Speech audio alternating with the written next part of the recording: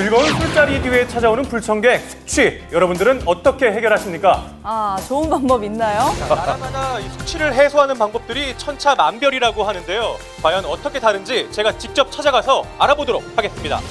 제일 먼저 찾아간 곳은 바로 그리스입니다. 그리스요. 야사! 아, 우리 그리스에서는 술 봐도 먹고 나서 꼭 이거 참 먹어요. 그리스네요. 바로 이 버터인데요. 그리스인들이 사랑하는 해장 음식 버터. 저도 참 좋아합니다. 이렇게 먹는다고요, 해장으로? Νόστιμος. 어, 사실 좀 힘들었어요. 표정은 아닌데요. 오늘 무리수 드셨는데. Oh my god! 푸에르토리코 뭐 하는 거예요? 정말 외국인 같아요. 뭐 어때서? 우리는 이 레몬 빨라. 네, 푸에르토리코에서는요 해장에 레몬이 꽤나 독창적으로 보입니다. 술 깬다. 바른다고요. 효과가 있을까요? 아이야이야이야야 술이 깬다. 아이야이야야. 확 깬 모습이죠. 한도 씨가 깨고 있어요, 지금. 아이야이야야. 자 이번에는 가까운 나라 중국으로 가봅니다. 어떻게 해장하나요? 中国人喜欢白酒，喝酒后一定吃这个。 대륙의 해장 음식 바로 간 회복에 효과적인 아미노산 듬뿍 든 날달걀입니다. 아.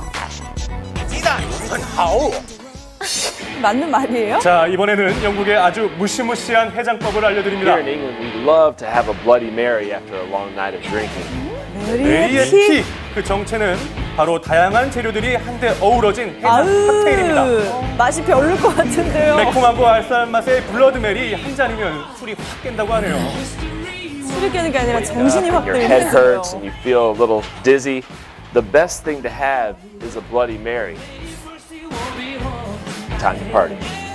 One more time. 아, 체력도 좋으십니다. 그에 반해 독일에서는요 맥주의 나라답게 제대로 된 음식으로 해장을 한다는데요.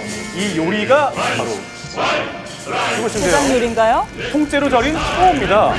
독일인들의 오랜 사랑을 받아온 청어 절임.